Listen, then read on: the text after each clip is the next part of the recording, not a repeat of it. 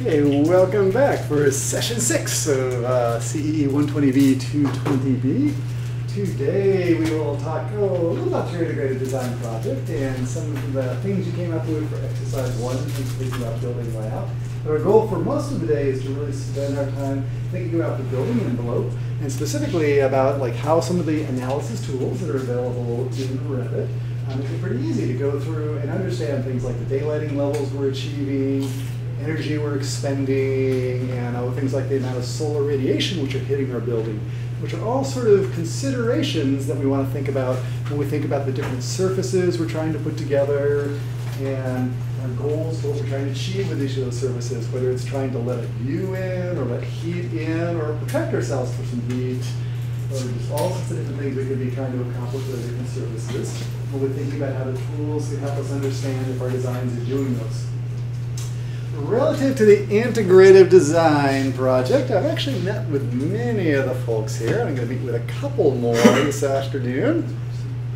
Uh, in terms of the focus and what we're looking at right now, again, for the first week, the big focus was uh, your big design ideas, your initial ideas about the form and how the building is going to lay out, all those sorts of things. And those sorts of things are hopefully in your design journal entries, kind of focusing at a very high level.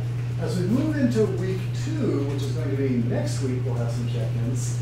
Um, be thinking about just sort of the passive design features in the building envelope. Some of the stuff we're talking about now, how that's going to get incorporated like into your design. So as we think about the different buildings that you've laid out and the different wall surfaces and what way they are oriented, let's think about each of those in terms of how much view do we want, where we're trying to capture that, where we're trying to sort of keep a more insulative space or from a view, a privacy standpoint where you don't want people to be looking through the windows because you want them to focus on a classroom or a meeting or you need some privacy for some of the functions. Like I think, oh, it's kind of interesting in the medical rehabilitation spaces, might be cool to have windows, but maybe not. You know, it's kind of sort of a six and one half dozen of the other there. So thinking about surfaces, the walls, the glazed surfaces, as well as the roof and the ground, how we're interacting with them and what they're doing for us. Because if we are thinking about using the roof as a terrace, or if we're thinking about putting solar panels up there, or just trying to put a green roof up there, you know, all these different things are sort of possibilities, and they all have different implications about what you're trying to achieve and like why you're doing it. Because the cool aesthetic, aesthetic things we're trying to figure out what uh, performance on the impact, or the impact on the performance is going to be.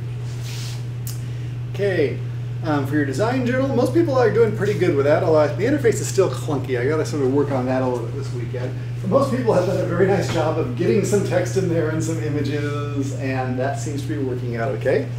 If you're struggling with that, please let us know, and we'll try and give you some guidance there. Okay, what I'd love to do just to start out today is just really kind of take a look at the whole exercise one, which some people are sort of at different points in terms of working with. It's really just, uh, you know, it's an idea, it's just something to kind of like work on to uh, just give yourself some fluidity and some uh, experience with thinking about different building forms and how they might lay out. So what I want to do is, you know, no definitive answers, but just sort of fish for ideas in terms of what people have come up with in terms of thinking about these different buildings and where you might think about, or how you might think about them being laid out. So again, we'll sort of dig into it a little bit, not exhaustively, but I just want to sort of see if we can kind of glean any insights from this. So this was the uh, set of buildings that we had for assignment one. How about, oh, just to get ourselves started, let me go ahead and start over here with uh, this building, which is this kind of double diamond shaped building. It's kind of a shape which is very near and dear to the hearts of uh, some of the folks who are in the PBL class, because it's actually one of the shapes that they have available to work with. but let's just kind of take a look at that. I'm going to zoom in on up there just a little bit and think about that space. So just looking at this space and uh, these kind of two large wings that sort of joined in the center, does uh, anyone have any ideas about how you might try to lay this out? As a starting point, just, you know, sort of what would your strategy be for like, you know, where would you make the lobby, where would you make the hallways? Okay, so yeah, we can sort of think about it just on the fly now. Oh, like Jacqueline, if you were approaching this, how, how might you think about doing it? Um, at least I'll have a, like, a cross shape of hallways. Okay. And then the core, maybe like at the upper left hand Okay, look, now let me think about this. So, so when you say a cross shape of hallways, let me think about that. plus sign shape. Like in like coming across this way and then coming down like that? Yeah. Okay, super. So something like the hallways on the outside there? Mhm. Okay, no worries. Got it. Very good. And then as you think about then, you know, some of the different features, yeah, like what, where sort of, what sort of places would you put exits and stairways and things like that? Mm, I'll say the stairways will be right in the middle. Okay.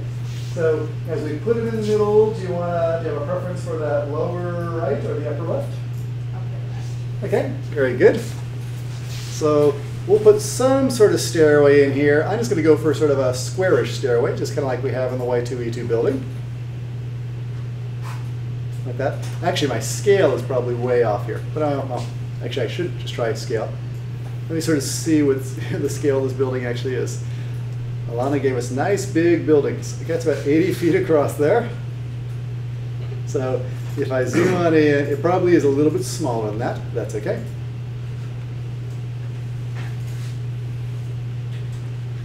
My supersized 10 foot hallways, but it'll get the point. So don't worry about that. It's just we're just uh, thinking about the strategy. I got some sort of stairway here. Now, can you get away with a single stairway, or do you think you need some more stairways in this building? I think I'll need more. Okay. So it'll be around like Boston's right hand corner. Okay, so you think way down in there? Uh-huh. Okay. So I'll have one over here. Okay, how about that upper corner?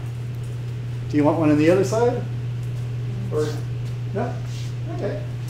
Let's think about how now you're sort of evacuating the building. We're going to use the rule of the, the 250 feet rule. Okay, so somehow we're everywhere in the building. We have to be able to get to something, a stairway within 250 feet. So if I'm hanging out over here, let's say I'm way back over there. So I come zipping on down there, I come on down the hall, and you're probably good. You get there, probably within 250 feet. We can measure it. Same way over here. I suspect you're going to be good there. Looking kind of good there. Over on this side, now this side I actually have kind of a nice option. I could either go out and over to that one, or I can go over to this one. So I'm in pretty good shape over here. Again, here I can either come down or go over there. So I think you're real good in terms of the egress, especially on this lower side here. This one, the only thing I worry about with this one is, well, we just got to think about kind of how your hallways are organized. It's this person. So they're hanging around over here.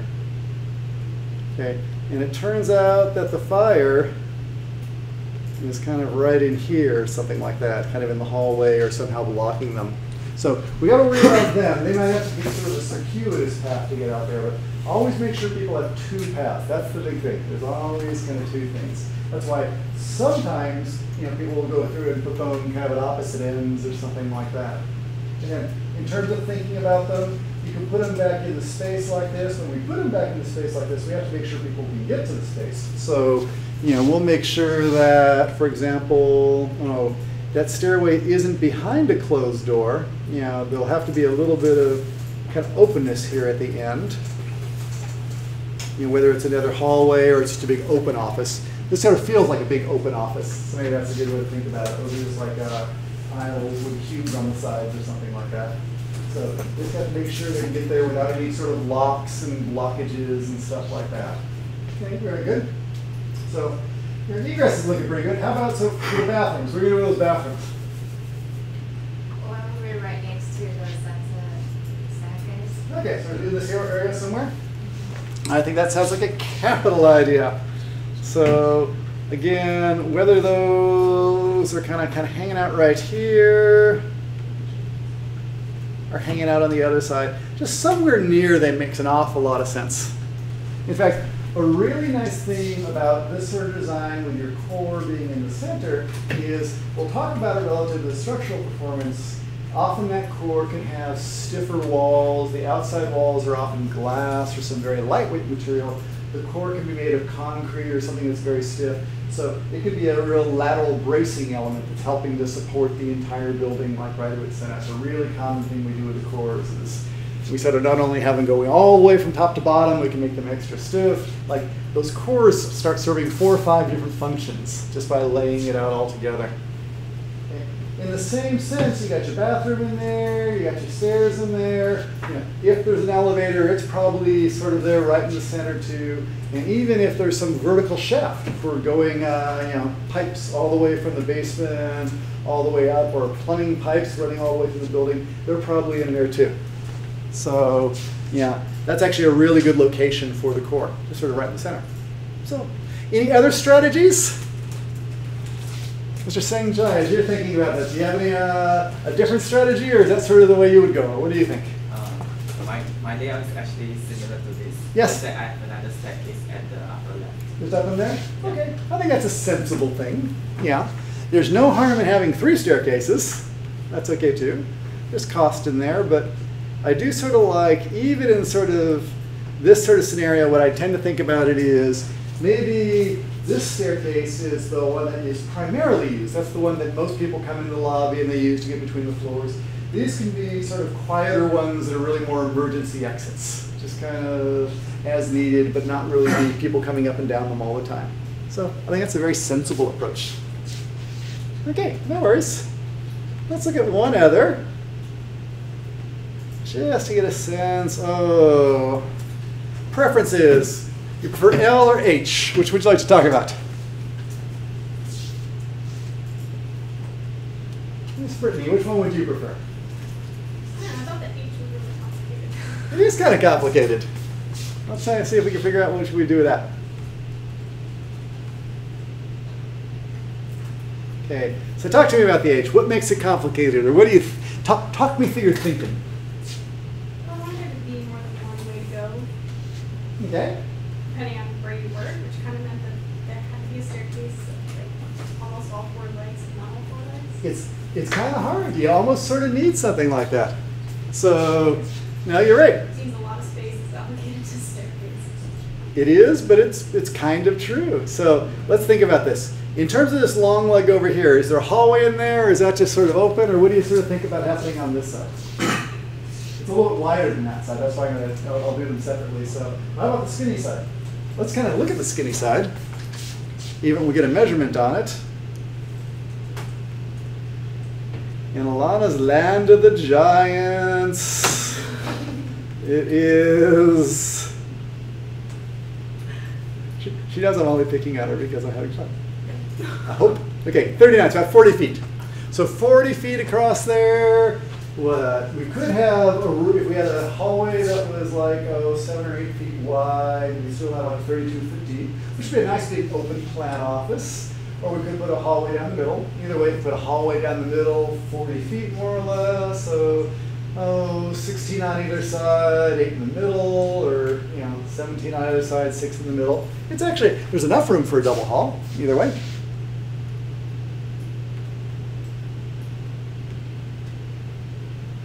So the idea of kind of a hallway coming on down sounds pretty good.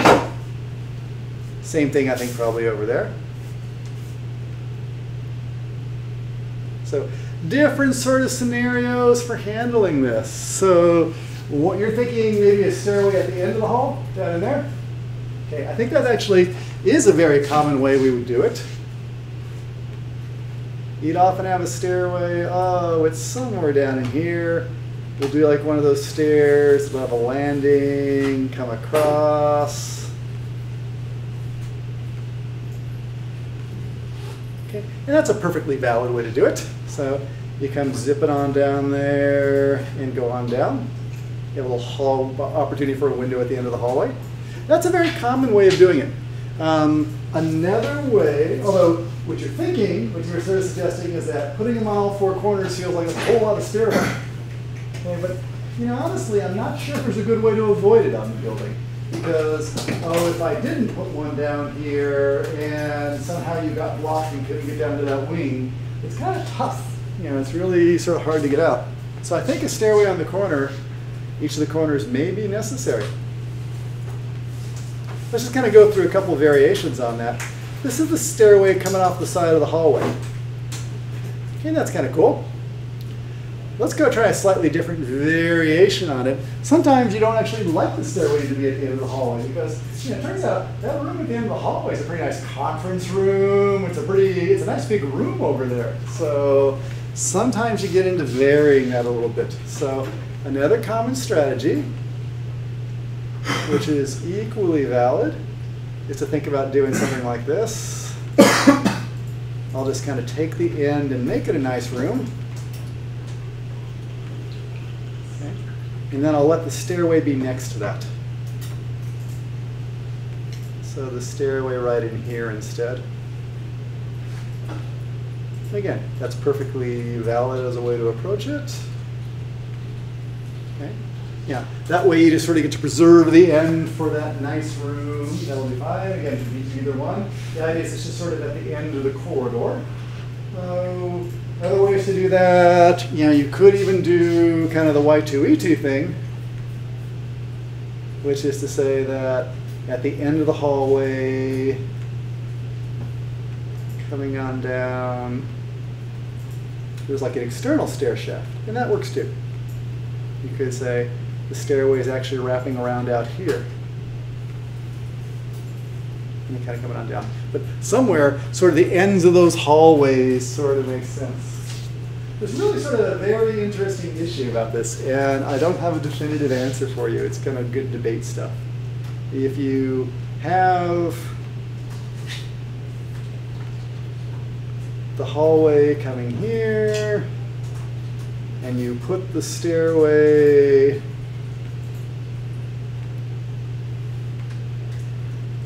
kind of right here, is that good enough?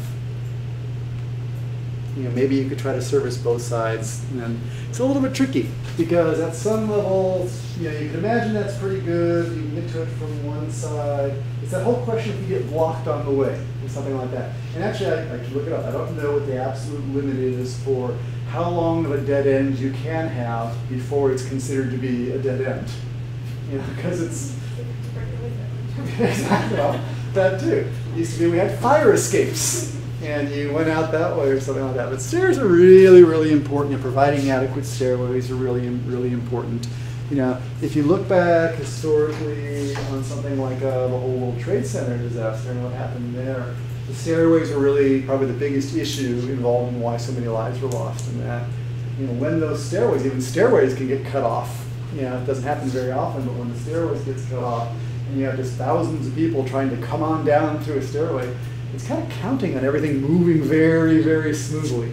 And you, you know, sort of imagine every the last time you left a rock concert or something like that. You know, traffic doesn't always move very smoothly when a lot of people hit the same space at the same time, especially if they're in a panic and a rush and all that stuff. So all it really takes is like one poor person who is maybe a little less mobile than the other people, or maybe unfortunately trips or falls or something like that and it just has this cascading effect where it gets really, really bad.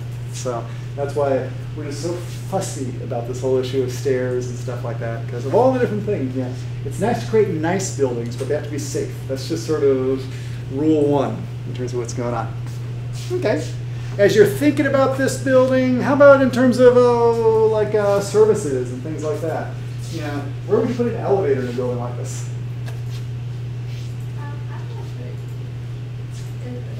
kind of in the center of the H. I think that's actually a pretty good strategy. So we'll put our elevator, I don't know, it'll be somewhere in here. I'll put some nice central elevators in there. It's actually a nice big building, so maybe I can do that. Put three elevators over there. How many elevators do you need for a building?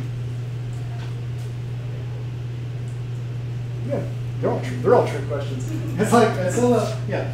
One would help with just the ADA access to get to the second level and stuff like that. But that one really depends on it's getting the service. How much service and how long you're willing to make people wait. So there's not like a hard rule that says, you need more than one elevator. It's really just more the level of service you're providing and what those peak loads are. And there's the everyday load, and that's kind of cool in terms of, you know, people wander in and go to their appointments and stuff like that. But you also have that time where there's these peak loads. Like I was at a hotel in Chicago, which is kind of a very kind of tall, slender building. There was a conference going on down in like the basement level, and this really bad thing happened that every time there was a break in the conference, something like that, everyone basically had 10 minutes to accomplish what they wanted to do. So they'd all go hitting those elevators, and it just worked incredibly poorly because it really wasn't sized for the peak demand. The same sort of thing I was noticing. I was sitting outside the Wong Auditorium this morning. Um, just you think about the restrooms, and the restrooms near the Wong Auditorium are actually rather large. There's like you know eight or nine servers. It's quite large in terms of what's going on in there. The problem is, you know, at that 10 minute break between classes, when a whole auditorium worth of people go spilling out of there, you know, it's gonna it could be quite a large surge demand or something like that. And you always have to balance that. You know that level of service is something that's not uh, required by code okay but it's really more you know something you're providing just because you want the building to be a nice class a building and really uh, of have good services. Okay so we have those. If i have those elevators there you know i'm going to think about somehow trying to figure out a way to kind of get my restrooms in near there. Maybe I'll put restrooms on either side and even put my little mechanical space between those two. Be really tricky there because that mechanical space will be a good spot where the pipes can run up and down, the drain pipes can run down, any sort of uh, ventilation shafts can move up and down, paralleling what's going on with the uh, stair or the elevator. So you're going to have that nice compact core. Okay, so cores are a good thing to kind of put them all together. You know, when you can, don't overthink it. And like for saying, Chai, when we're looking at your building and the multiple pavilions, yeah, it, it won't be neatly laid out into one core. But in the different locations where we do put the stairs, we'll try to double up as much as possible the functions there and just kind of like change it around. Okay, super. Enough of all that. Let us talk instead about envelopes.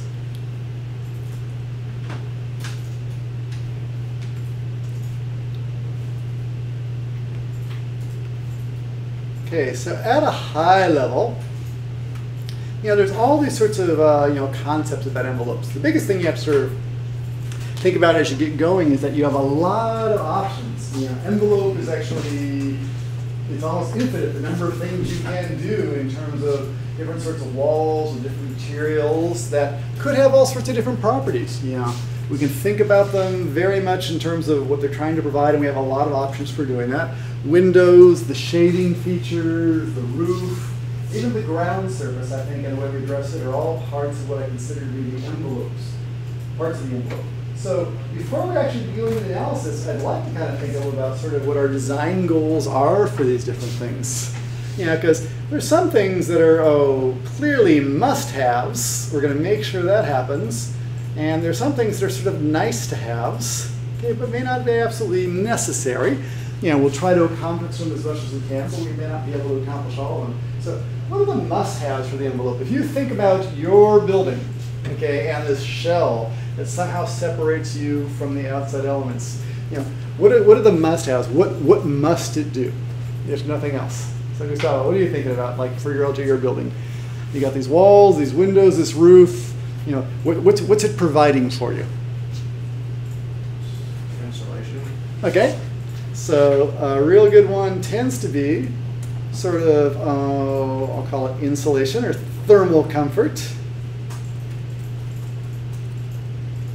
Which I guess insulation sort of leads to thermal comfort. How do I do it that way?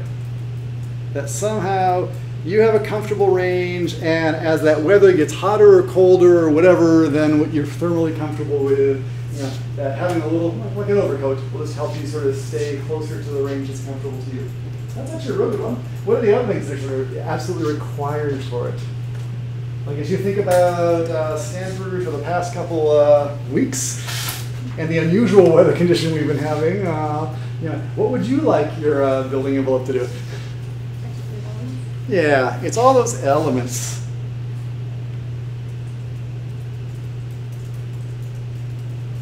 And it really is uh, what we've been experiencing a lot of, and I shouldn't complain about it, is the rain. And no one likes to be wet.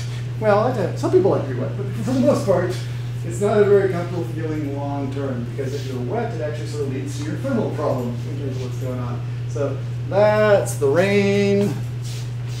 Yeah. It can be, oh, if you're in other parts of the country, which are a little uh, less fortunate than we are today. Hang on.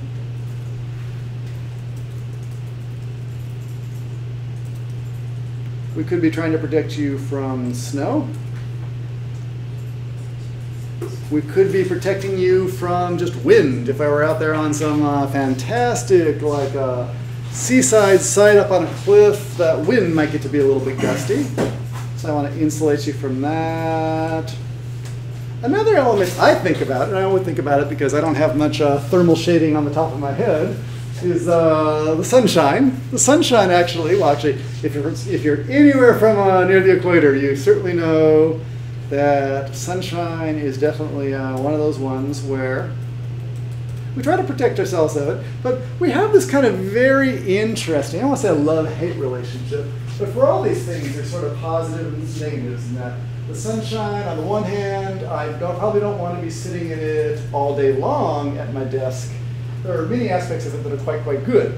Same thing, the rain, you know, I don't want to be sitting out in the rain, but I'd like to use the rain to kind of accomplish my water needs. Wind, again, I would like to be able to use the wind possibly as an energy source or cooling source, a ventilation source. Snow I have a harder time with. I guess it's a good cooling source. But I usually don't want the cooling at the time when it comes. So, I don't know. Snow may get in, it may stay on my bad list. I've shoveled too many driveways, so uh, snow's not necessarily a great one. Okay, how about the nice to haves? Okay, there's, we definitely want to protect. What are some things that you might want to do with your building envelope and you hope to accomplish it, but you may not be able to? It just sort of depends. Anything sort of falls into that category? No? How about, you know, let's say you're near the lake at Jasper Ridge. Okay, and the lake could be a fantastic view over there. Okay, you know, is providing a view of the lake, is that a have to or is that a nice to? What? Nice too. That's kind of a nice to. Yeah, we tend to like to have beautiful views.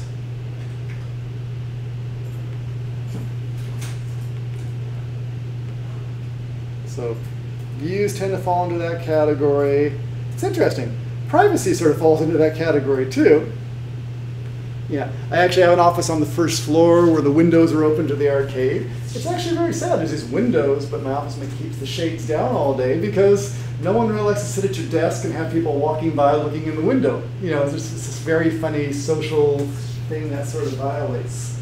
So privacy be kind of a nice thing. How about daylighting? Is daylighting kind of a must-have or is it a nice to? That's a, it's an interesting one. I could sort of go either way on that. It's certainly very desirable. Okay, but some buildings actually have trouble providing daylighting. If you have a kind of very big, massive building, and security is a big ah, maybe security is another thing in there. Kind of protection from there's protection from people. it's like so maybe that's another one. If I think about most homes that I'm working on, a lot of what's going on is just uh, you know, you're trying to keep uh, not only elements out, but actually uh, undesirable people out at the same time. Okay. Yeah, I'm gonna go on. Any other kind of nice twos? What would be nice?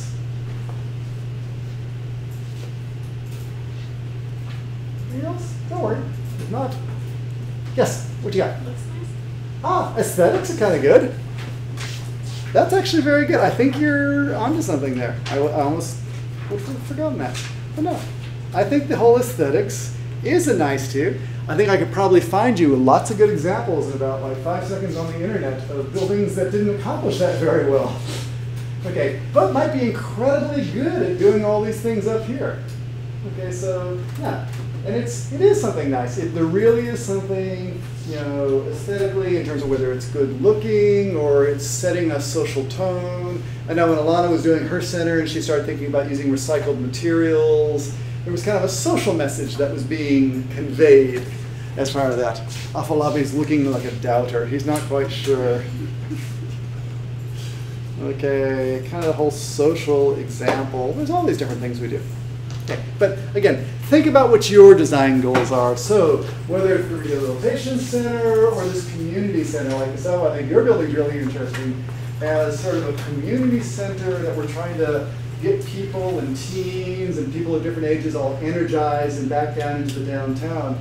You know, its facade could make a big difference because it looks like a big brick warehouse that looks very forbidding and like a fortress, that'll have a very different impact as you know, making it sort of open so people can see into the cafe or see people playing and having a good time. So, you know, facade can have a really big impact on really uh, just how people sort of understand your building and ultimately how successful it is.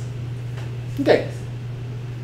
After you sort of think about your goals, and it is good to think about your goals pretty explicitly about really which are the ones that are most important to you, because we're going to find that as we're designing, we're going to get torn in different directions.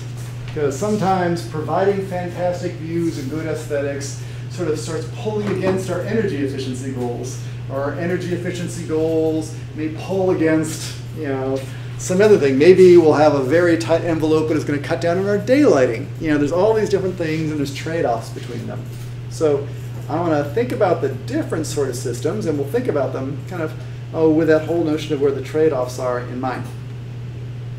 Okay, in terms of the types of analysis that are really easy to do for your building envelope, you know, Revit provides very good tools for doing solar analysis, for doing daylighting analysis, and energy analysis. And well, there's three things that are kind of factored in pretty quickly in terms of uh, thinking about what your facade wants to look like. So we'll look at each of those. To get all started, we're going to go ahead and create a real simple building and just kind of start some analyses running in the cloud because it takes a few minutes for some of those things to happen. We'll just let it go. Okay, so we'll look at solar, daylighting, and energy, but before we actually start doing any analysis, I'm going to switch over to Revit and just kind of create a simple little building. And why don't you go ahead and create one too, because there's no reason that yours has to look just like mine. Okay, as we go through and create our new building, I'm going to say new, I could use any of the templates. I'm just going to use the architectural template. Okay, there's going to be a couple things that we're going to need to do as we place different sort of elements, wall elements, roof elements, floor elements. We'll just kind of pay attention to the thermal properties because we want to start thinking ahead to that. Okay, we're also going to go ahead and just make sure we create rooms that are sort of bounded because that's sort of useful too. So I'm going to start with my little wall tool. Actually, I'll do. I'll, I'll start from scratch doing all the proper things. I'll manage and say let's choose a location. Location is always important. Okay, so for today, I always try a different place. Uh, how about off a lobby? Where should our building be? Uh, Dubai. Dubai. Dubai is always a good place. I like Dubai. I've only been there once, and boy, was it hot. Okay, near the coast side, so very hot and dry, but there's probably some humidity stuff going on there too. I don't know. We'll just try it. We'll put ourselves by the coast. Okay, super. We're good. We have a sun location, we have a latitude and longitude, we have a weather profile, we're in good shape. Let's also go ahead and just in the elevations, go ahead and take a, just kind of cut at really what our floor to floor height is. Uh, 10 feet's always so squishy. You know, 10 feet's really hardly anything in terms of a floor to floor height. I'm gonna make it 14 feet. Okay, just to give myself a little room for the mechanical systems and the structural systems and things like that. Okay, with that basic framework set up, we're going to start putting some walls down. And to do that, I'm going to go to the Architecture tab. Under the Architecture tab, choose the Wall tool. And let's see what kind of walls we have. That generic wall is awfully attractive for getting started. The only problem with the generic wall is it only has uh, like no thermal properties. So uh, that's not very good in terms of doing energy analysis. Uh, let's scroll on up and see what we have in the exterior. I won't worry about it too much because we can change this later. Let's choose one that does have something.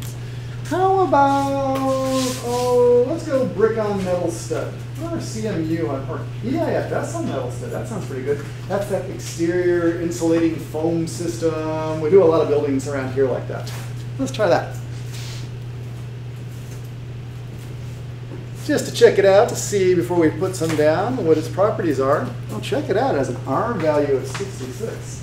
Now that's pretty attractive in the scheme of things. Around here, if I was, for example, building a single family home, I could actually use an R value of 13. Okay, so actually about a quarter, actually almost a fifth of what the R value is. This is a very tight system. So actually let me, I'm gonna choose one that's a little less tight so that we have uh, some room to improve. Because EIFS is actually really very, very good. Let me go, let's say brick on CMU. That's 30. Okay, that'll have a little room to improve. Actually, I want some room to improve because we're going to show you a tool that suggests where you would, might want to improve. Super. I'm going to go through and change the height to go up to level 2. Draw my little building. So again, draw any building shape that you want. I'm going to draw sort of a little L-shaped building. People who watch my videos know that I always draw L-shaped buildings. I have no idea why.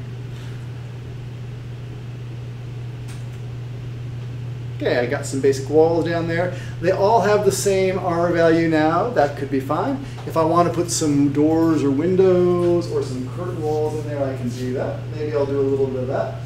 Oh, how about this? I'll go over to my windows and see what I got. I'll just leave that as a standard size. Even the windows have thermal properties, so as you pull down under the window properties, you'll see this is currently has an R value of like 1.5. So think about that relative to like the R30 of the walls. The walls are about 20 times as insulative, so we're going to lose about 20 times as much energy through these windows. Okay, we can change that if we go through and change to a different type of glazing. We can change to a higher R value. But again, I'm going to leave it fairly low right now, kind of be low cost and sort of low performance, because we'll let the, the program sort of suggest to me like uh, what might be the right balance. Because the important thing is it's all a balance. Okay, so I'll drop some of these in. I'll put some of these on the north side.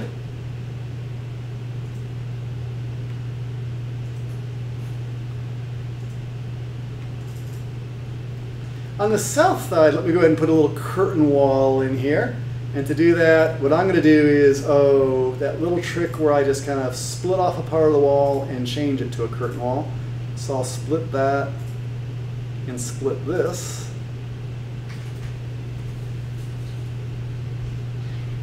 And change those two walls into my curtain wall storefront. This is going to be a very plain sort of thing right now. We're going to learn how to go through and uh, adjust our storefronts so using the mullions we can start introducing all sorts of interesting shading features. But there's my little building so far. Not too awfully bad. Okay, now as we go, there's a couple more things we need to do. I need to put a floor and a roof on it. Okay, and I also need to sort of set up the notion of a room and a space, which will help us understand things about how it's actually going to perform. So for the floor, I'll go architecture, choose floor. See what I got over there. On my floor, I have generic. Again, generic won't have any thermal properties. What do I got here? I got all sorts of wood, and I have uh, concrete on a metal deck. Hmm. I could use one of those. It's not really appropriate for the first floor. Even if I was going to do a slab, let's do this. I'm going to take my generic 12 and duplicate it because I'm going to make a little concrete slab material. Concrete slab. I'll say it's going to be a six inch slab. Okay, the structure is going to be six inches of concrete. And don't worry if you're sort of falling behind. We'll go ahead and share this if you want to use my building. But if you want to keep going, go for it. Let's see what I got here in terms of concrete, cast in place. Super. Now you'll notice that my concrete cast in place Yeah, it has nice good thermal mass. That's going to be great when the sun comes in. It's going to bake and sort of absorb the heat and radiate. It's going to be very happy that way. R value is not very good right now. Okay, um, so like we will be losing some of our heat down into the floor. Now for Dubai, that may not be a very big issue because the ground is actually pretty hot most of the time. So I'm not too awfully worried. But you may want to add another layer in there with some insulation. In fact, that's one of the things we often do is we'll add some insulation under the concrete just to sort of break that so it doesn't have that. But I'll just leave it this right now because again, I'm going to allow for some improvement. Say okay. Okay. Now I'm going to place this by hanging onto my walls. I'll choose the wall here. Not the fatal error. No. That hurts. I'm going to see how fatal this was. If it was really fatal, as it was, I'll have to go back.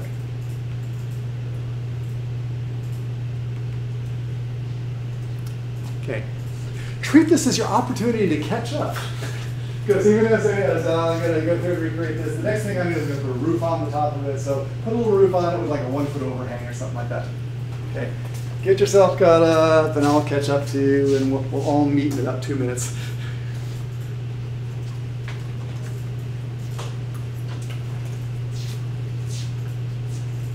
Does that prove that point about saving. What I always tend to say, and I don't always do it, is only work as long as you're willing to lose your work without saving, because uh, it's just software. I just realized, your building says HLS. You're trying to send us a coded message in there somewhere. Hmm. Okay. So again, we're back over here. Make it 14 feet. Make it Dubai.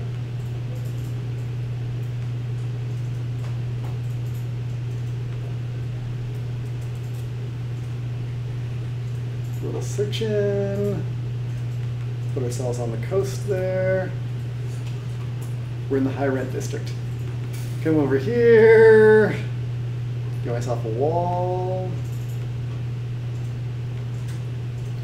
Say brick on stud. Yep, dun, dun, dun, dun.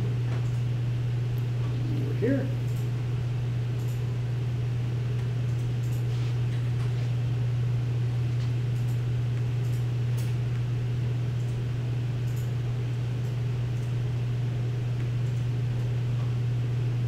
Excellent. Okay, couple windows.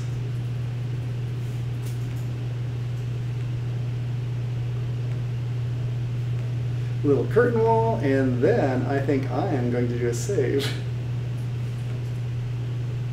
Let me ad advocate that you do the same. Okay, here and here. Let's go to storefront.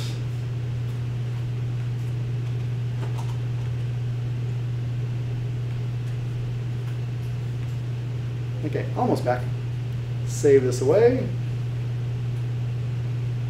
Good, and put this, I'll put it in my session six folder.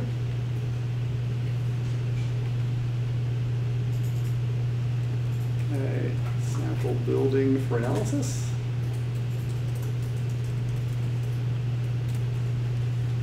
Okay, let's put that floor under, I'll put the roof on, and we will all be back together.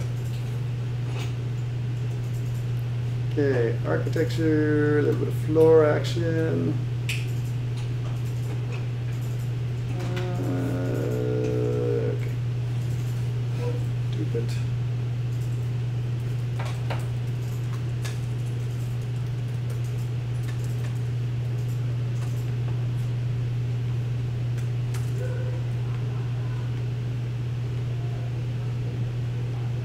cast into place.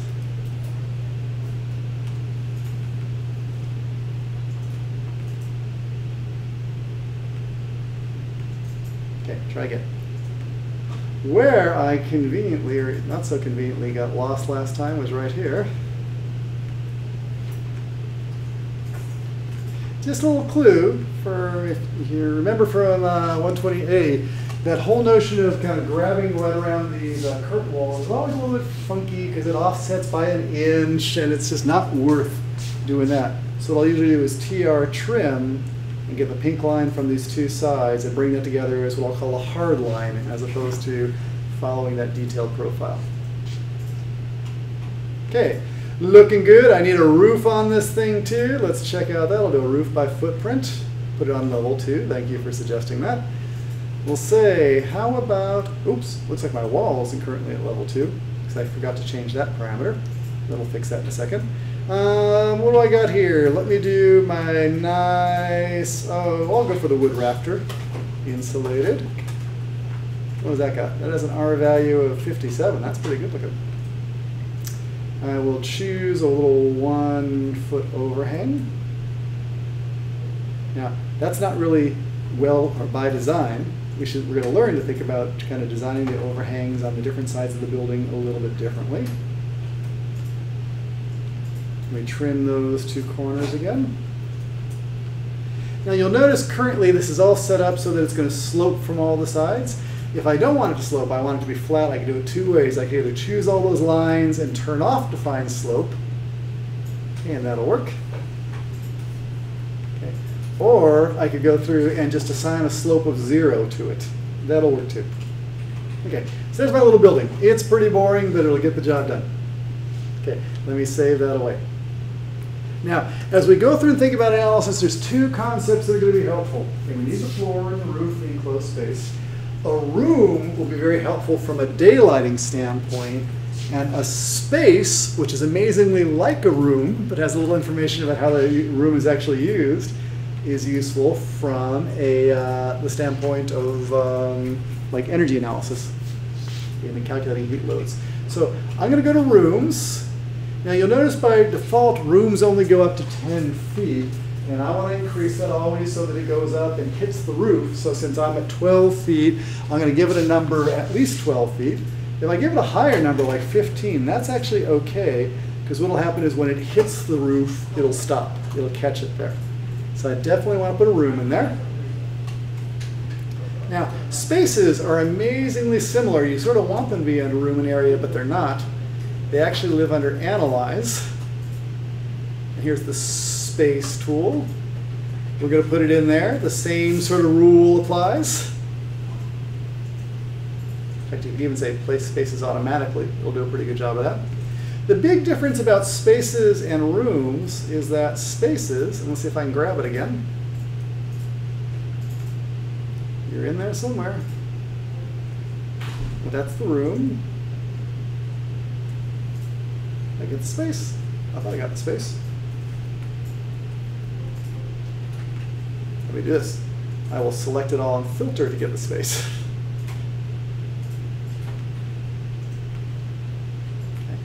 The nice thing about spaces, though, is they have this other information. What is the conditioning type? Is it heated and cooled or heated only? How is it used? Is it a classroom? Is it a commercial space? Whatever it is. And oh, I'll change that to like some sort of commercial space. We'll pull on down. And like a specialty store, sales area, retail. Let's go for that. Notice that has a certain amount of area oops, per square foot or per person.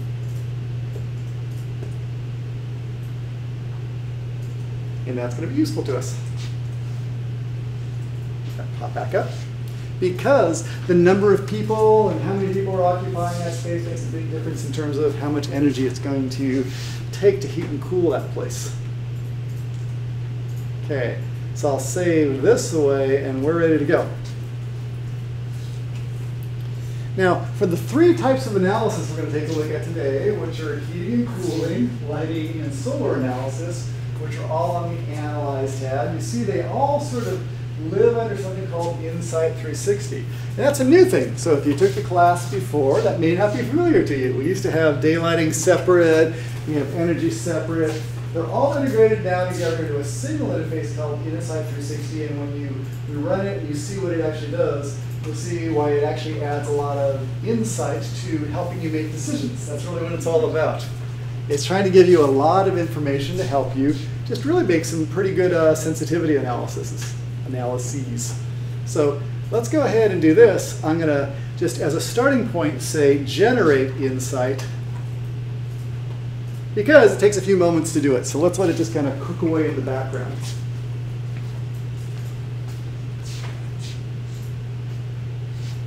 Okay, let us go ahead and start then. I'm going to flip back over to my little uh, mind map with solar and think about that. As we're thinking about the sun and how the sun's hitting our building, there's really two types of analysis that are sort of very good to work with.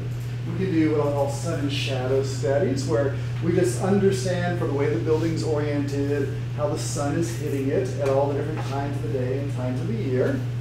Okay, and let's start by looking at that.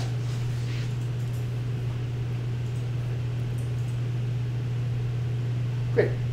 It's kind of working in the background. In terms in sun and shadow, um, by default, what's considered the project south, which is the bottom of the screen versus the project north, is facing towards the uh, compass south, okay? But you can change that. If you don't want that to be the south, if your building actually is oriented 30 degrees off, 40 degrees off, or something like that, we can change that. And how we do that is we take a look at this. In the, for the plan, it says that this plan is oriented towards Project North, and that's kind of good. Level one is oriented towards Project North. Often we like things towards Project North because it's easier to draft when everything is orthogonal and the XY sort of lines up with where you want. If your building is going to be oriented a little bit on site, the thing to do is to duplicate one of the levels, doesn't really matter which of the levels. I'm going to rename that and just call that true north. And I'm going to have a view where, and we're only going to use it for a very limited set of things. I'm going to change it so that the drawing is shown as true north as opposed to project north. Now, so far, this view looks just the same as the other one because project north and true north are aligned to each other. There really is no change right now.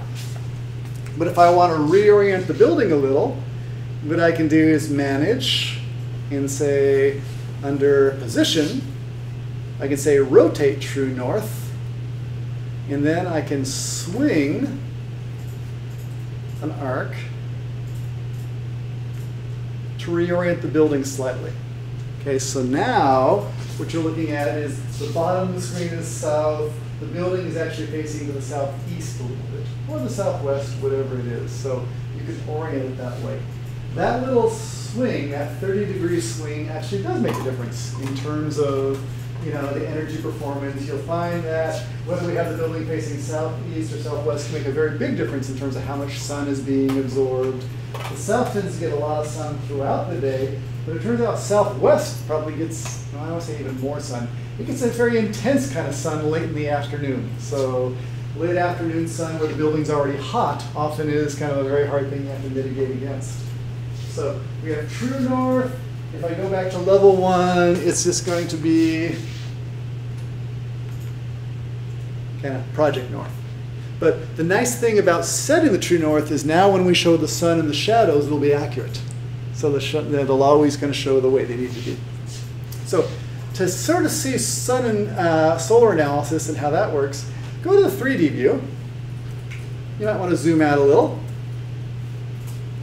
And what you can do is turn on some shadows. That's one of the little widgets down at the bottom of the screen.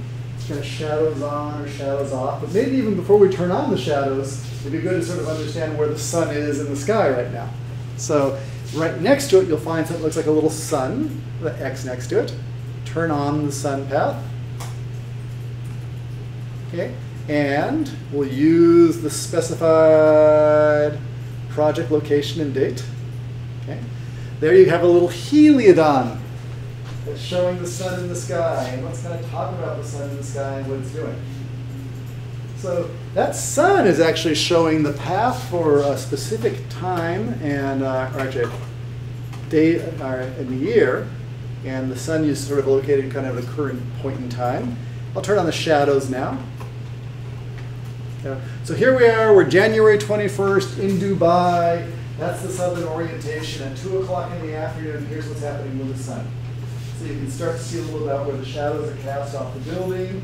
You can start to see relative to the windows where the sun is coming into the building, where it might be heating up your concrete and uh, kind of adding to your heating loads. Okay.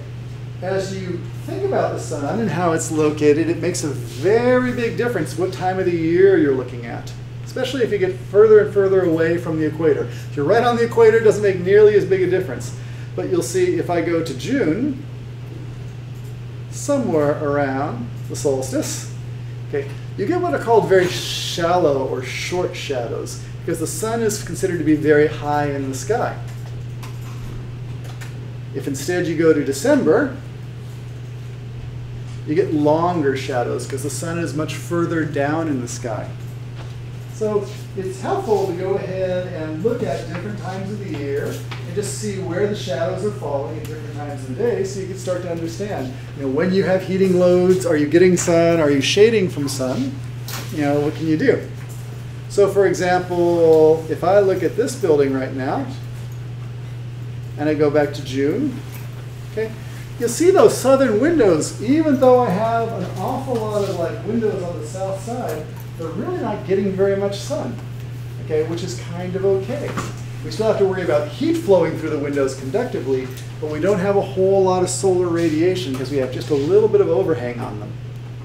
If I change that around to different times of the day, let's look at 9 in the morning. You'll see there I have some sun coming in. I get up to 11 in the morning. Okay, the sun's starting to get blocked out. I start getting to like 3 in the afternoon or something like that. The sun's over there. That's 3 in the morning. That's not very good. Okay. And now we're on the back side of the building. Again, we're not worrying about the sun too much. Now, this whole issue of the sun, you can go ahead and work with it kind of one step at a time, just kind of stepping through one time at a, or and kind of evaluate. Or you can set up something called a solar study, and let me kind of show you what that looks like. Under sun, you can choose sun settings. And sun settings for Dubai, okay, it's currently set to a specific point in time. It says still, so it's a specific time right now. If I want to look at a single day or multiple days, what I can do is choose one of the other periods. If we want to say single day, we can even go through and span it. Let me choose a one day solar study. Okay. It'll just go from 10 till 4. I can say sunrise to sunset if I want to get the full range of time. Say OK. Okay, and so far it doesn't look very different. But what you can do is now say, preview the solar study. And there's this little uh, widget up in the options bar which lets you play from early in the morning. Let's see if it does it. There we go. And the sun kind of coming over into the evening. So you can start to simulate and sort of see what's going on with the sun. So just even in Revit, just this whole idea of kind of doing these sun studies and kind of working your way through. Go back to the beginning. Is actually very useful for giving you a little bit of insight.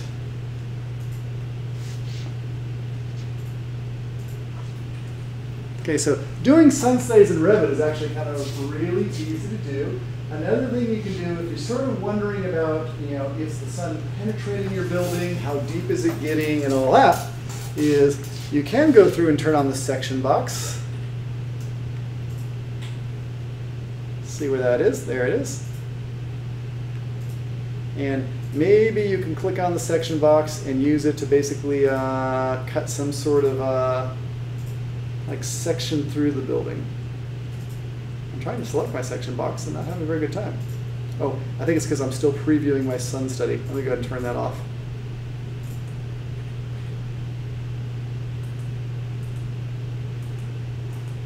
What are you still doing? Preview, preview, preview. I want to turn that off. That's turning it on. To turn that thing off. Should I sun path off? That'll work. Nope, it's still up there. Okay, what do I gotta do? How do I turn off the sun study? How do I turn off the sun study?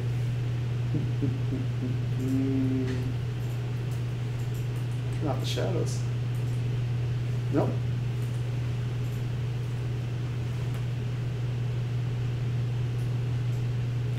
That's a very interesting hole. I know somewhere in here, one of the, there's a button sitting here on the screen that's somehow saying turn off the solar study, and I'm just not finding it now. I just don't see it. Does anyone see a way to turn off the sun solar study? Isn't supposed to be on something? There's a button in here somewhere. I just don't see it. No. Do this. Just change the sun studies back to a still. Okay, that'll work. There's a more efficient way of doing that. I'm just not sure what it is right off offhand. Okay. Come back in here. I'll sort of cut through my building a little bit.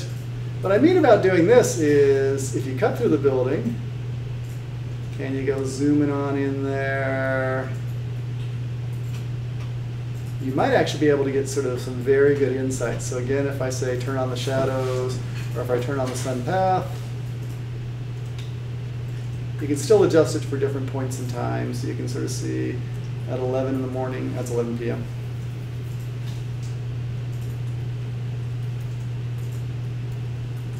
Yeah, how deep the sun's going to penetrate. You can start to sort of see inside your building. A very useful thing to do. You can do that either in the shaded views. You could render that view, and it would actually look quite interesting. So you can just sort of understand the sun and shadows this way, and that's a really good starting point. But let me show you another tool that's available, and it's called uh, solar radiation analysis. And if you've taken any of the building energy classes and thought about energy efficient buildings, and have thought at all about solar panels and trying to kind of maximize the potential for collecting solar energy, this tool is really good for that. Let me go ahead and turn off the section box because I don't want to have that on. I want to see the entire building. Okay, so here's my entire building. You can sort of see the sun in the sky now. Okay, if I want to start to understand the solar potential for the building, what I do is go to Analyze, and you'll find the Solar tool. Okay, and what that's going to do, it'll let us either see, we can see the cumulative solar radiation on any of the surfaces, which might be good if you're trying to put solar panels on and you want to figure out how to orient them or where to place them to get the maximum amount of solar energy. It can also show you the peak or the average solar radiation. You might want to do something like that for the windows or something like that, because you can start to figure out really which of the windows get the strongest sun, okay, and that could help you decide which ones need extra shading features or extra coatings inside the glass to go ahead and cut down on the amount of solar radiation that's absorbed. But it all starts with, let's turn on solar. Okay, yeah, does everyone have that tool? I should ask that. Is that showing up in your Revit? Showing up in yours, Gustavo? Do you have under Analyze something called Solar? Yeah. Okay, excellent. You good? Okay. If you all have that, here's how it basically works. You can go ahead and choose different types of studies. Let's go ahead and see what's available under there. I think I was playing around, so I sort of set a different time frame. I'm just going to change it to solar energy, the annual photovoltaic potential. Okay, I can choose all the roof surfaces, okay, which is if I just want to think about roofs, fine. If you want to choose some more surfaces, you want to sort of understand the wall surfaces too, let's choose them also. So how you do that is you pull on down and you say, oh, user selection. Okay. And we're now in a mode. Notice there's a little finish and a cancel up here in the upper left-hand corner. What we're going to do is basically click on all the different surfaces we want to have reported and computed, and then when we're done, we're going to finish. So what it does is, it's currently got the roof. If I want to get that wall, and this wall, and that wall, I can even get some of these uh, roofs or these windows. In fact, let me try this. Let's see if this will actually work. Can I do a big drag? I can do a big drag. Now, doing a big drag is okay for what we're doing, because we have a very small building and there aren't that many surfaces. If you had a gigantic building, you probably wouldn't want to do a big drag. Okay? But we'll go through and think about that. Okay. Notice it's going to basically report back to us some sort of information about basically what we have selected. I think we have about 500 meters cubed selected. Oh, let me finish. We'll change that number. As well as um, information. What I'm going to do is flip down the little results and switch it over as opposed to kilowatt hours per meter uh, squared. I'll change it to BTUs per foot squared. Or you could change it to watt hours. It's really whatever uh, kind of system is the one that sort of feels most familiar to you. Okay. When you are ready to analyze, click the update button. What it's going to do is go off and do some calculations. Okay, it's going to go do it for the whole year. It's got a few surfaces in here, so it's doing a fair amount of work.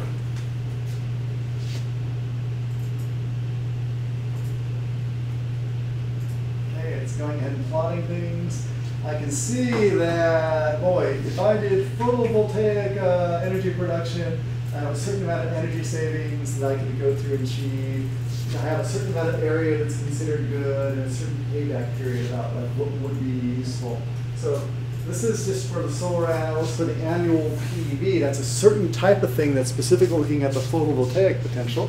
But let's take a look at that. I'm going to turn off the sun path just because I think it's kind of cluttering up our view a little bit right now. Put that over there. Okay. If you look at the building, and you can zoom on in there and take a closer look, you start to see sort of, uh, where'd it go?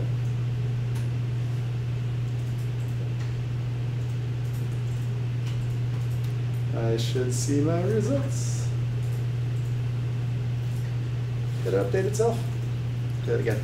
Okay, but it's basically going to give you a color-coded version of the building that's going to show you on the building just really uh, what is that photovoltaic potential.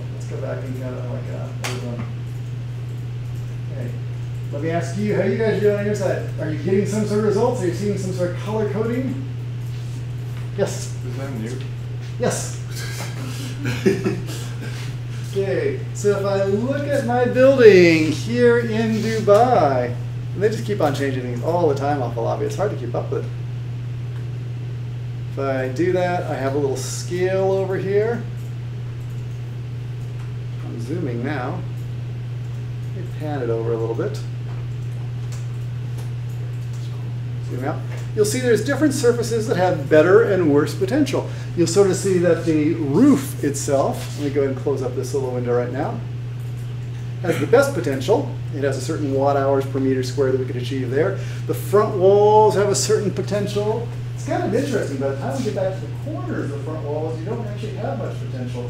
What tends to be happening is as the sun is moving over the building later in the day, this wing of the building is actually shading the building, so you're losing some potential in that front corner just because it's kind of in the crook or the elbow, you're not really seeing it. You can sort of see that over here, we get fairly good potential on the front of the building. If we orbit around though, you'll see there's not what it considers to be no potential on the back, or at least it's less potential than we currently have the analysis set up to go ahead and highlight with the color. Okay. I'm going to go try a slightly different analysis to kind of like uh, show something different. Let's go ahead and do a study. Let's see what I have available in here. I just want to use the sun settings, that's fine. I have the analysis grid, that's fine. In terms of the results, let's say solar annual, like that. So right now, what it has been doing is it's been biasing it by the notion of being able to pay back for the photovoltaic panels, okay, based on some assumptions. If I just change it to this, it won't be doing that. It'll just sort of show us colors on all the different surfaces so you can get sort of a comparative idea of really uh, what is the photo or the solar potential on all those different surfaces. Let's do that. It's going to again do its calculations. It's also, if you're going to want, it'll export a CSV file. So if you like to kind of grab a lot of detailed data and put it in Excel to do an analysis of all sorts of points all over the grid, you can do that.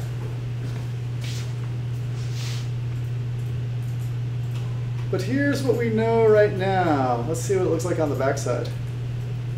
Because that doesn't look very interesting on that side.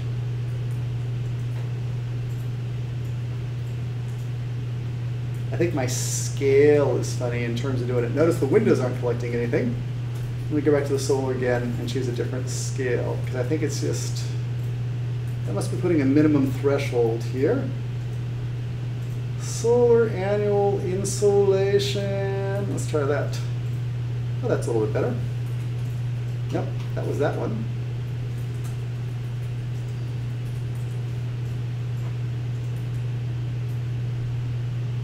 I guess these are different minimal thresholds. This is solar analysis default. Okay, that's kind of what I'm looking for. This one basically shows if you sort of looked at all those different surfaces and which had the greatest potential, the roof clearly has the best, these front walls are sort of green, there's somewhere in the middle, there's actually a scale over here which is showing the potential, they're sort of in the middle. If I go back to the back side of the building though,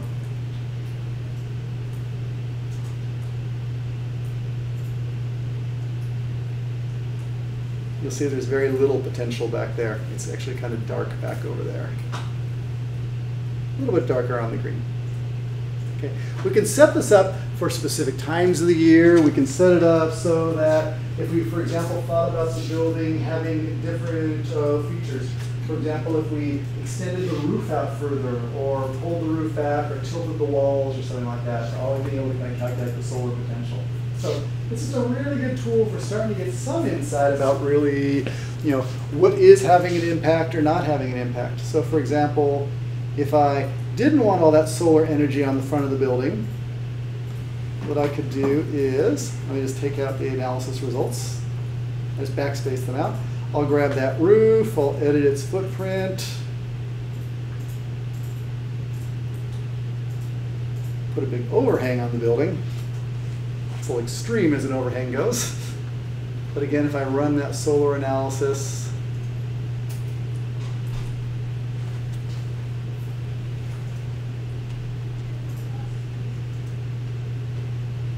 let's see what happens now.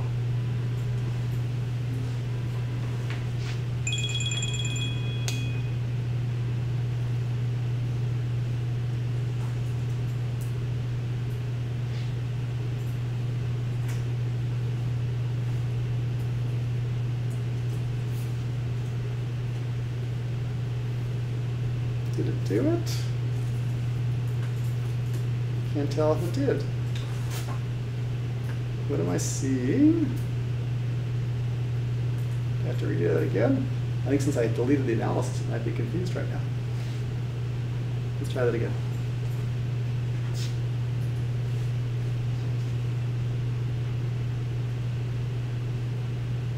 Nope. Hmm. I might have to redo that again from scratch. Well, ignore that for now. I'm going to take it back to the other shape so we can sort of see what the building used to look like. Okay, solar is the first piece of all this, so definitely go and think about solar. I'll fumble with software the way I always do. Okay, other types of analysis that are available are daylighting. We sort of looked at daylighting a little bit last time. Daylighting is really all about how are we doing in terms of the lighting levels across the entire floor. And we're going to talk about daylighting some more next time in detail, but daylighting in general is we're trying to get, you know, use the daylighting that is coming into the windows as much as possible to get a good lighting level throughout the building and within a range that's considered to be acceptable and good for working. Um, in terms of lighting in general, daylighting and electrical, there's all sorts of rules we have about really how much lighting need to be on work surfaces that are depending on type of job you're doing, how old you are, how acute your eyes are, how fine the work is. And there's these different levels of lighting. And we'll usually talk about in terms of lumens. For things like hallways where we sort of are moving through, but we don't really need to stay and do any work, they tend to be fairly low, like 20, 30, 40 lumens. For working here on our desks, it might be 80 or 90 lumens. If we start, actually, uh, think you're about to do this in 256, you know, go through the different lighting, lighting levels you're trying to achieve. If it starts getting to be much higher than that, it starts getting to be almost too bright. Like sitting out in direct sunlight is almost too bright to do your work because there's so much glare, It's just hard on your eyes. You sort of actually get very tired doing that. So there's sort of a level we're trying to achieve. And the way the daylighting analysis works here is if you choose the lighting tool, and say you want to do a new lighting analysis, it sends it off to the cloud, creates a color map for you of how this building is doing. So let me just say continue. It's going to basically compute at like about two feet off the floor what the lighting level is throughout that building. This whole notion of what type of analysis to do, right now we're going to do a LEED analysis which says on November, on September 21st, these two times of the day, figure out the lighting levels and is it within these sort of prescribed thresholds? Is it sort of within that range? And if I think it's 85%, I'll look at the exact number, is within that range, then you know the building is considered to pass LEED daylighting. I'll get some LEED daylighting credits. Okay, so that's the initial kind of analysis we'll do. The same tool though could be used for doing analysis of lighting on any particular day or time. You could also do it so that it incorporates the natural lights and the electrical lights working together. So you can really use this to go through and do very detailed lighting analysis. For right now, let me just start that. We'll let that kind of cook away in the background. Okay, because the third thing I want to show you is just the whole heating and cooling load analysis. Because we didn't actually put all that much information into our building. You know, so far we put in some walls, we put in some windows, that's all okay. And you might wonder if we could go through and figure out the information we need for sizing up a heating and cooling system. And the answer is yes, you can. So because we put a space in there, we have a certain number of square footage, we have thermal properties on all the outside walls, on the windows, on the roof and all that, and we know sort of what's going on in terms of how much heat is being generated inside the building, okay, you can go ahead and use Energy Plus, which some of you may be used to using, to go through and create a report that'll sort of compute for you just really what the heating and cooling loads are. So what I just did is kind of click the Energy Plus heating cooling button, it's going through and doing some calculations using Energy Plus right now. So using your building and your building model and the values there, sort of feeding it into the Energy Plus simulation so that uh, you can go through and take advantage of its calculation engine. And let's see what it does. Well, that's not a good thing. Returning an error, I don't like that. I'm going to try it one more time and then say that I'm just having bad software luck today. Does it work? Just a bunch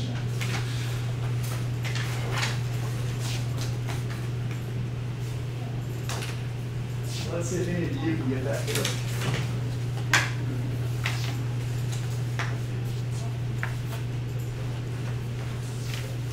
Okay. The final thing we're going to look at, though, is just something called Insight 360. And you might remember if we were uh, back to in 120A, 220A, yep, still got a server, it's not error, so I'm not going to worry about it. In 128, 220A, we took a building like this and we ran what was called uh, building element energy analysis on it. We ran a report that basically showed for the square footage in this use, here's the amount of energy, energy use intensity, and here's the heating and cooling that's passing out through the windows, the doors, all the different surfaces. So it could actually give us a little bit of information to uh, like decide how we want to sort of improve on the building and make it a little bit better. What Insight does is very similar. It uses the same calculation engine in the background.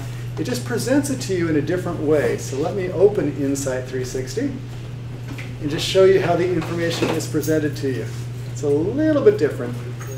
You might remember that in the whole world of like uh, Green Building Studio or the energy analysis which was being done, you know, it was always a range of values that were computed for you. So given the building, the shape, the form, and where you are, there's always a couple of different things you can sort of look at.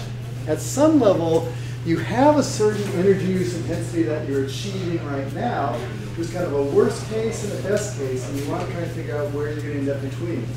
Right now you see that we're actually, just based on the assumptions we've put in so far, very close to the guidelines given by ASHRAE 90.1.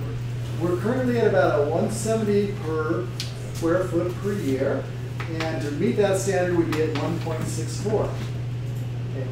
What all these different little tiles in the interface are doing for us is really just starting to give us a little bit of feedback about what we could change in the building that might have an impact.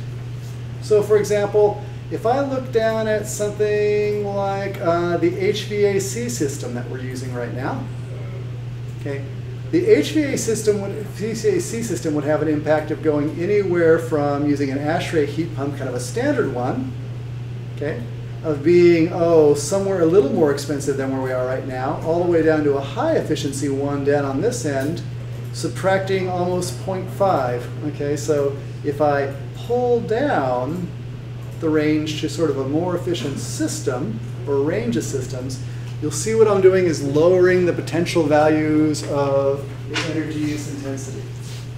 Okay, so what that told me is that just by going ahead and changing around the efficiency of my heating and cooling system, I can actually get down within the standards without adding insulation, without changing the windows, just by making kind of a small change to the efficiency of the system. And that's really sort of the point about this. Let me kind of explain this whole system. The idea of this whole system of Insight 360 is really just to give you insight, give you some sensitivity feedback about what's going to make the biggest difference. So we sort of pulled down and so they went to a more efficient HVAC system to achieve some efficiency. Let's take a look at the lighting efficiency. That's one that's always kind of incredibly impactful, but you are typically not aware of how impactful. So here we have different lighting efficiencies. The difference here is everywhere from sort of very conventional bulbs down to like LED bulbs, which are very, very efficient. So if I just went through and said I lowered the density, okay, so I'm using more efficient lights, okay, I can actually have a huge impact on the EUI. Now, I want to contrast that to, for example, oh, like roof construction, because you say, oh, you know, I'm going to put a green roof on, I'm going to ultra insulate the roof. If you look at that, uninsulated is pretty bad, but the difference between R10 and R60 is negligible. So it may be worthwhile to go to an R60 if you have sort of another consideration, but by doing that, you're not saving a whole lot of extra energy. So I could even back off the insulation quite a bit and really have very little impact on things. The same sort of thing about the walls. The walls you're going to find out right now are probably pretty well insulated. Wall construction, I have different levels, anywhere from R2, R13 to R12.5. It's not making a very big difference one way or the other. So those are things not to focus on so much. Building orientation, I could try reorienting it, but again, that's not going to affect it very much. So the idea is to go through and use these sorts of different tools and try and figure out where is it that you can make the biggest difference.